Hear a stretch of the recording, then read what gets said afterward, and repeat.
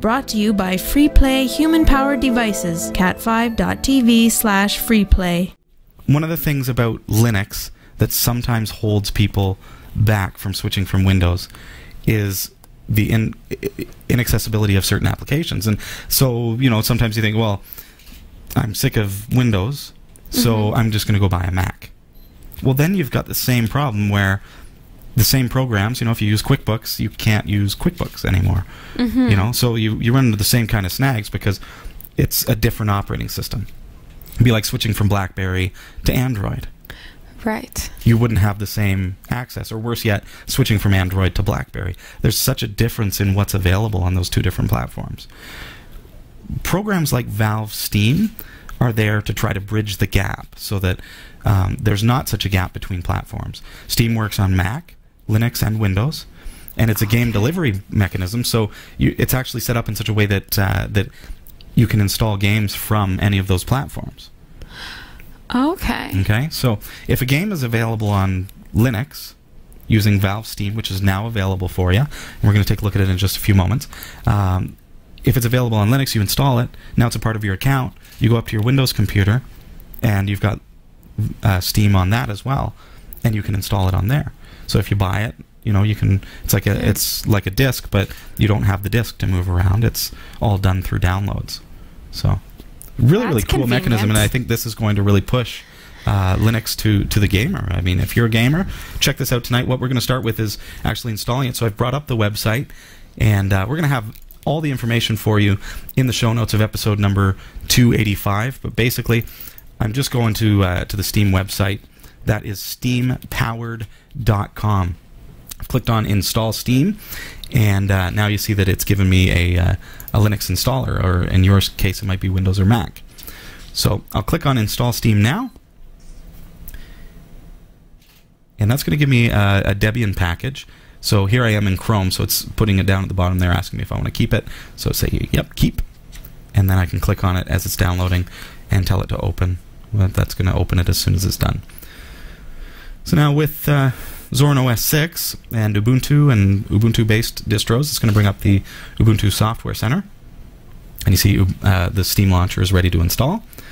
So I'll click on install. Now, just a note that uh, that I actually had to upgrade to a later version of Zorin OS in order to do this. So you may have to do the same if you're using an older distro.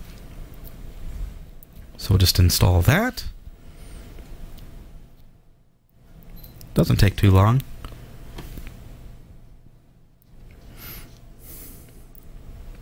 There are a fair number of games that are available for Linux without uh, using Steam, but what's neat about this is it gives you a deliver- delivery platform uh, where everything is available in one place. So now that it's installed, it just tells me that uh, all I need to do is just run it uh, for the first time. So we'll close out of the Software Center, and we'll launch that. Oh, and there goes, launching itself. So it looks like it's downloading a bunch of packages to our system, and we're going to do this together tonight.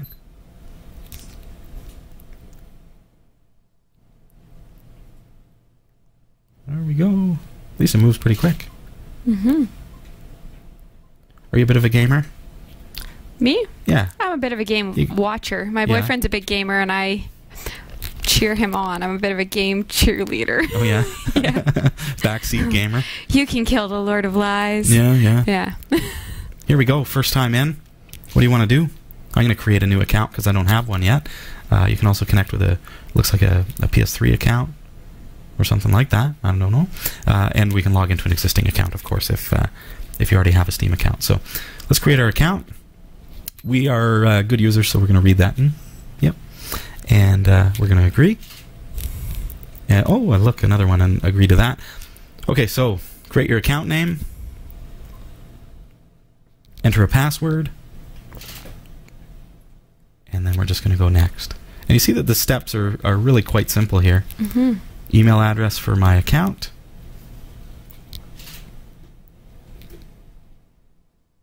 There we are. And now it's uh, creating the actual account on the Steam servers. So now Steam, I should note, is again, you know, available for Windows, Linux, and Mac. We're doing this on Linux tonight because it just recently became available on Linux, which is an exciting thing. So now that I've got my account, I should be able to launch that. It's going to connect to the server using my account for the first time. And I got a warning there, and I'm just going to accelerate the video here. I got a warning there that my driver is not a current enough version to run Steam. So I'm going to go into my additional drivers in my system settings, and I'm going to upgrade to 304 branch. I use an NVIDIA card, so that's what I'm going to do. Now, 310, I find that uh, 310 can be much less stable than 304. Both of them are experimental. There's the, the warning message, just so you see system is running an older proprietary NVIDIA video driver because I'm just using the stable version. It requires 304 or higher. So I'm going to activate the 304, not the 310 because I, I do find that it has more problems in my case. Um, so you may have to, you might end up breaking your video subsystem. I don't. I should just say for the record that I don't like that it's forcing us to install kind of beta software. Um, but uh, we want to just get this going for tonight, and just be ready to revert back if uh, if you're not happy with the settings. Let's see what happens.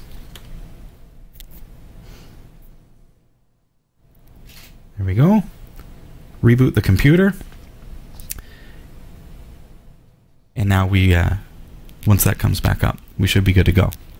So Okay. I was saying a little bit, that, you know, I, I'm not too pleased about the fact that I've got to install these experimental drivers because when you get into, you know, putting in 304 and 310 branch that are unstable of the NVIDIA drivers, you could run into problems. When I installed the 310 software, it completely crashed and wouldn't boot up my system. So Oh. that would be a really big problem. So a bit of a warning to you that you might expect that that could happen. Um, so in that case, I had to manually go into terminal and and uh, use my xorg.conf file. If you're not familiar with that, I would stay away from the 310 just in case. Okay. So, okay, so next up, we're going to install our very first game. Um, so this is the way Steam looks. I've clicked on Store and go into Team Fortress 2 just because you'll see that that is a free to play game. I want to try something that's free to play just to get me started. So you see how it's Windows, Mac, or Linux compatible, and I can just go zip and install, and it's telling me it's going to be six days. Might not have it uh, today. I guess they're assuming that I'm on dial-up. you want to put an icon on the desktop or what have you, and there we go. So now it's just simply installing. And we're not advertising any particular game. I'm just throwing one on real quick that happens to be free to play and available on Linux. And I wouldn't mind showing you some of the uh, the other options that are available here as well. It looks like it's not going to let me, unfortunately. So once Team Fortress 2 is installed, of course, I can click on play, and now it's still downloading. So I can turn on launch game as soon as it's ready. It's going to take me about uh, looks like about 15 minutes, but I'll accelerate this. Wow. Time flies here. The magic of TV is incredible. There we go, all done. So I can boot her up, and uh, we can start playing just like that. So now I've got a game that is free to play, which means that it's not a free game necessarily. You Mhm. may have to pay in order to get certain features of the game, but it's free Okay. to get into the game. It's free to to begin playing and install it and give it a go. But you may have to buy things if if you want to be a real player, Right. right? Tools and So weapons. sometimes that can be in game, but free to play games allow you to to kind of check things out.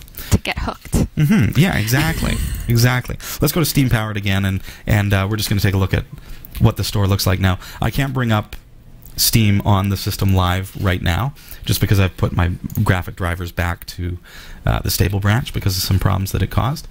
Uh, but you can see here. So this is exactly what the store looks like from within Steam as well. So we're okay to do that. Because I'm on Linux, of course I'm, I'm going to want to click on Linux and I'll see what games are available for Linux. And you'll notice that there's a price tag with most most of these. And it's going to be about, you know, 20, 30, 40 bucks. So it's the cost of buying a video game sometimes. I mean, here's some that are 3.99, 1.99, Mhm. more like app prices. But not a lot of free to play stuff. Right. Not a lot of free stuff, which was a little bit surprising to me because I, I imagine that you know Linux users, uh, kind of across the board, uh, do hope for a fair bit of uh, freebies. But I think what Steam is doing is is quite a bit different. Is they're providing not free games, they're providing commercial games and a distribution platform for those, and Right. making them available on Linux and Windows and Mac. Mm-hmm. So you can get these games and install them really, really easy, run them on your system, and there's nothing to it. You pay for it once, and then you can install it as many times as you need to, right? So, looking at that, you know, some of the games are a little bit older, but still classics. That's right. Uh, but there are quite a few good games as well. But you'll see here Windows, Mac, and Linux. So if I buy this game for 20 bucks, I can install it on any of those systems. So I can start with my Linux system and then move it around or whatever I want to do. So this is looking at it from the Linux perspective. Personally, I think it would be nice if I could zoom in a little bit further and say, okay, well, I want to see just the games that are, you know, under 10 bucks or free to play only. Mhm. But generally, if I click on the Linux tab because I'm a Linux user, it's going to be just you know sorted by however they sort it. So you would think, okay, well let's zoom in on you know the free to play games now that I'm in the Linux tab, and of course now what happens is is it's given me all the free to play stuff, but most of them are Windows and Mac only. Oh, look at that. This one's Windows only, Windows only, Windows Yeah. only, Windows only. So you can see that as far as the interface goes, it's not as intuitive of, as I would have thought it could have been. Mhm. Uh, but it is still very, very young. Just came out to Linux, uh, and it would be nice to see some some improvements there. Windows, Mac, and Linux, free to play, so I can install that if I wanted to. Dwarfs. Yeah. so kind of cool in the way that it's set up. In that you know, if if I do click on a, let's see if I find a game. One, hopefully one that see see what I mean as a Linux user. A little disappointing as far as the selection goes for Linux. I'm seeing a lot of Windows and Mac, Mm-hmm. and I think that that that's okay, but there should be a way to just focus in on just, Just give me all the Linux stuff. Sort through. Yeah. I don't care about all this Windows stuff. We'll use Team Fortress as the example again because it is free to play and it's available for all three uh, systems. Let's make sure we mute the sound there. So here, you know, you get a, a page with video, screenshots, and you know all that kind of stuff. So you can go through, find out a little bit more about the game. You can play it for free with free to play, or you can actually buy some of the packages that uh, are available. And you see that some of them well, now these are you know all different kinds of things. This is like a package that includes many different games. Valve Complete pack comes with 25 games, for example. So it's really you know it becomes this really cool delivery platform. If you're a real gamer for 100 bucks, you get 25 games. That's pretty awesome. But then again, here I am looking at a game that I wanted to find because it's Linux compatible, and I see that the Valve Complete pack is only for Windows. So a little bit unintuitive as far as that goes. We got to we we have to be a little bit careful about which one. You know, when you're going through, you've got to click on the Linux, find one that that works for you. You know, whether it be a twenty dollar game or whatever, and you can buy it. As far as the distribution platform goes, it works really, really well. Really, really fast. I mean, it told me it was going to be six days, but it obviously wasn't. It took 15 minutes or something like that to get the Mhm. game. So And this is new, so there are chances. it's been available on, well, it started on Windows and then launched into Mac, and then it's it's been rumored for so long that they were going to be coming to Linux. Here we are. It's finally happened. And I think what's exciting about, you know, it is new to Linux, but what's exciting about it is it's going to really drive graphic card manufacturers to improve their drivers and to improve their support, uh, to build, you know, more gameable uh, drivers for the Linux operating system. So it's going to not only help gamers, but it's also going to help us uh, in you know regular users who Mhm. want to be able to do 3D accelerated graphics and things. So I expect that because Steam is requiring that we use unstable drivers, Nvidia might say, you know what, that's that's driving a need for this driver to be complete, to be stable, and we'll see what happens. But uh, it could happen. Even though it's it's unstable drivers, performance very very good. I can't show you too many clips, but uh, this is Team Fortress 2 on our system with an Nvidia, uh, just a, a cheap Nvidia card. You know, and frame rate is exceptionally good.